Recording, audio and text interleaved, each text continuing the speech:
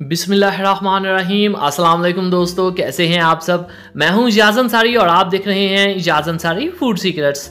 अल्लाह बरकत दे आपके खानों में, आपके रिस्क में, आपके जायकों में। तो मेरे प्यार प्यारे दोस्तों, आज मैं आपके लिए ऐसे चॉकलेट केक की रेसिपी लेके आया हूँ, जिसमें कोई भी मशीन यूज़ नहीं होगी, कोई भी ओवन यूज़ नहीं होगा, ना कोई बीटर ना कोई ब्लेंडर मतलब के बगैर किसी चीज़ के एक मिनट के अंदर, मैं कह रहा हूँ, एक मिनट के अंदर आप ये बहुत ही शानदार केक बना सकेंगे। करना आपने क्या है, जनाब चैनल को सब्सक्राइब कर लीजिए और वीडियो पसंद आए तो वीडियो को लाइक कीजिएगा। सबसे पहली बात, इसके लिए जो हमें मोल्ड चाहिए, ये देखिए, बहुत ही सस्ता, इसमें आप बर्फ़ भी जमा सकते हैं, या आपको मार्केट से जस्ट अस्सी रुपये या एक सौ रुपये का मिल जाएगा। केक बनाते हुए हमेशा सबसे पहले आपने मोल्ड को तैयार करना है। ग्रीसिंग कर देंगे इसके अंदर कुकिंग ऑयल की और यहाँ पे मैंने बेकिंग पेपर जो है इस तरह से काटा है। ये देख लें आप, ऐसे इसको कवर करके एक दफ़ा कैंची चलाते हैं और ये गोल कट जाता है बहुत आसानी से। इसको इसके ऊपर लगाते हैं और दोबारा से इसकी ग्रीसिंग कर देते हैं। तो ये तो हो गया साइड का काम और ये इसलिए पहले तैयार करना है ताकि हमारे केक के बैटर को स्टे ना मिले। अब रेसिपी शुरू होती है जनाब। बिस्मिल्लाह रहीम यहाँ पे हम लेंगे दो दत अंडे, जो ठंडे बर्फ़ के फ्रीज़र के नहीं होने चाहिए, बिल्कुल रूम टेम्परेचर के। पिसी हुई चीनी जाएगी इसमें हाफ़ कप और ये हमारे पास विस्क है मतलब इससे हम इसको मिक्स करेंगे हैंड बीटर भी कहते हैं इसको। मार्केट से इजीली आपको ये 100 या 120 रुपए का मिल जाएगा। इनको कर देते हैं मिक्स और अच्छी तरह मिक्स करने के बाद हम इसमें ऐड करेंगे cooking oil one fourth cup मतलब कि एक कप का चौथा हिस्सा। साथ साथ हाथ चलाते जाते हैं, इसको मिक्स करते जाते हैं। अब यहाँ पे, ये देख लें आप, कितने अच्छे से ये मिक्सिंग हो रही है। अब अगली चीज़, इसमें जाएगा मिल्क दूध आप इसमें हाफ़ कप ऐड करेंगे और फिर वही बात, दूध ठंडा नहीं होना चाहिए, ठीक है? रूम टेम्परेचर का होना चाहिए दूध।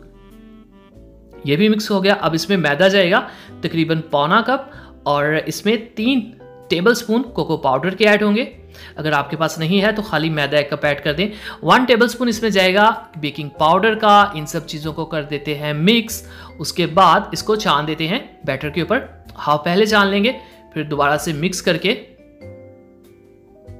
बाकी बाद में ऊपर इसके डालेंगे। ऐसा हम क्यों करेंगे? ताकि गुटलियाँ ना बने और बैटर में अच्छे से मैदा मिक्स हो जाए। गुटलियाँ किसी भी सूरत में लम्स नहीं आने चाहिए। ठीक हो गया। ये लीजिए, अब बाकी भी इसके ऊपर छान देते हैं और इसको मिक्स कर लेते हैं। ये देखें, ये कितने अच्छे से मिक्स हो गया। इसकी इस तरह की कुछ शक्ल सिचुएशन कंडीशन कंसिस्टेंसी आ जाएगी।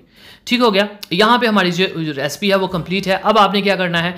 आराम से उसी मोल्ड को जिसको हमने तैयार किया था, उसके अंदर इसको ऐड कर देते हैं, डाल देते हैं। और अहम बात कि कभी भी बॉल को प्यालियों को आ, मतलब उसके अंदर कोई भी ज़र्रा कोई भी रिस्क रहना नहीं चाहिए। इससे क्या होगा? आपके खानों में आपके रिस्क में बरकत आएगी। ये लें जी।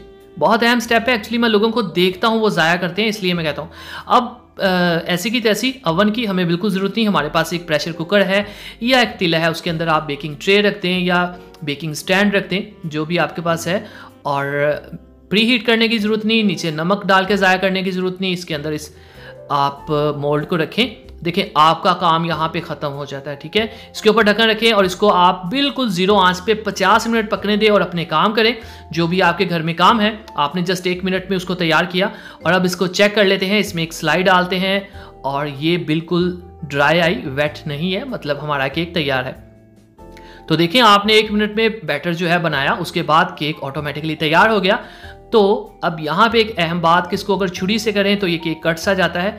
तो आप इस तरह के बारीक स्पैचुला से किया करें तो ये बिल्कुल भी ख़राब नहीं होता। तो ये छोटी छोटी बातें आप ध्यान में रखा करें, ये बहुत अहम होती हैं, जो नॉर्मली लोग नहीं बताते या जस्ट एक्सपीरियंस से आती हैं। पर मेरी कोशिश होती है, मैं आपको सभी बातों के बारे में बता दिया करूँ।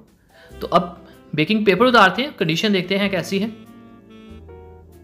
तो माशाल्लाह अल्हम्दुलिल्लाह देखें जी मेरे अल्लाह की शान उसकी रहमतें नेमतें और बढ़ते हैं जिसने हमारे हाथों में हमारे कानों में तो मेरे प्यार प्यारे दोस्तों मैं आपको डिस्क्रिप्शन बॉक्स में सारी डिटेल्स दे दूँगा इस रेसिपी की कौन सी चीज़ कितनी कितनी जानी है केक बना लिया तो अगर आपको कुछ समझना है आप वहाँ से भी देख सकते हैं। लगेगा। केक को काटते हैं और देखते हैं ये कितना स्पॉन्जी है कितना सॉफ्ट है और कितने अच्छे से ये राइज हुआ है बेक हुआ है। तो उम्मीद है आज की तो कोशिश आज की रेसिपी आपको पसंद आई होगी। इसी बात पे अगर वीडियो को तो लाइक तो कर माशाल्लाह माशाल्लाह देखें जी देखें ये है मेरे अल्लाह की इजाज़त दीजिए। कदर किया करें के लिए रिज्क की और हमेशा दूसरों के लिए आसानी पैदा किया करें इससे अल्लाह आपके कामों में भी आसानी पैदा करेगा और हमेशा देने की या किसी को नवाजने की या किसी को कुछ सिखाने की कोशिश किया करें ताकि आपका अल्लाह आपसे राज़ी हो जाए।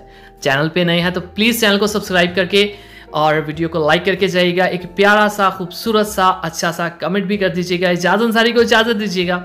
अगली वीडियो तक, अल्लाह हाफिज़।